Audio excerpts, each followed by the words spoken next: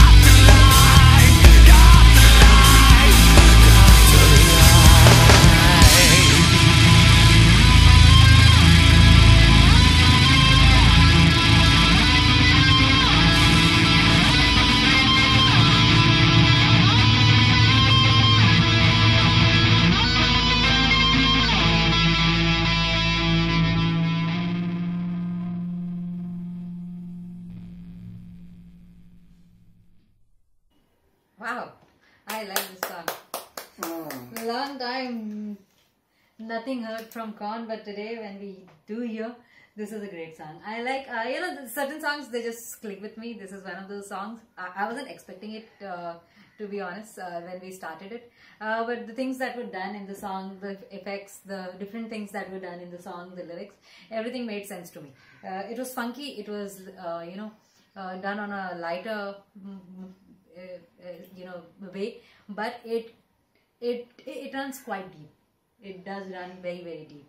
Um, often people keep uh, complaining about there is no God and you know everything that happens bad in their life of you know the decisions that they have made and the results come out not uh, quite right. Uh, they always find somebody to blame. And if there is no human being around them that they could blame then they will definitely push the blame. They all, humans i think need uh, an scapegoat uh, they just need that. Uh, and i said that escape goat instead of that escape scapegoat. God. no i said like as an escape god. Uh, so you know everybody wants that kind of a entity that you can just throw all your blames on and you feel better. You just feel better because you know they- you can't be wrong all the time can you be? Um, so here he's got this um, weird communication or conversation with god where god told him that you're never gonna, never going to see light because you already got one. And um, that's b- you know best or the worst part of it. Um, humans are cribbing endlessly.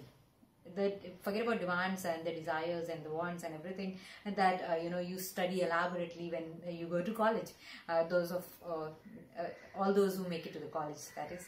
Uh, but uh, apart from that humans continuously crib. Whether when they are getting married if things don't work out if they are sick if they meet with an accident whatever uh, you know things happen in their life every time there is something or the other to complain about and things not going right. Um, here uh, you know it was so bizarre that you feel like uh, among those semen eggs that are going to one of them is just going to hatch out of the millions that were given the opportunity. You just made it. You just made it. And when you're out here instead of enjoying it instead of seeing it instead of you know exploring things etc you just waste a lifetime in cribbing complaining comparing uh, you know doing all kinds of uh, nonsensical things that you should not have done your entire life. Because it was you who made it not all of those rest of the millions that couldn't make it. Uh, but we don't see life that way do we? Yeah, there was a lot of vocal artistry in this one. I love the way it was sung more than anything else. The lyrics, I uh, kind of felt it was a little bit silly and amateurish of the way it was written and the way it went. Uh, and it was far too repetitive. There should have definitely been a lot more substance in this because it was done beautifully. The music, the vocal artistry is definitely top notch. But what makes this song a disappointment for me in more ways than one is the lackluster lyrics and the amateurish lyrics. You know, apparently God paged him and said, You'll never see the life. And then he questions, uh, Who wants to see it? And God tells me, uh, You know, you, I've already got the life, oh, I say. Uh, it- it's kind of a silly amateurish play on words uh, that is going on here. If there was a lot more substance to substantiate the repetition that was done with these lines, this convers- brief conversation between God and him over the pager, uh, which happened in text form apparently over the pager. So it it should have been interesting, more interesting to listen to if there were more unique lines in there. But it wasn't to be. So for me, it was a disappointment. But vocally and musically, it so sounded so good that you just have to enjoy it, headbang to it. Yeah, what can I say? this is nice that's our reaction thank you for being here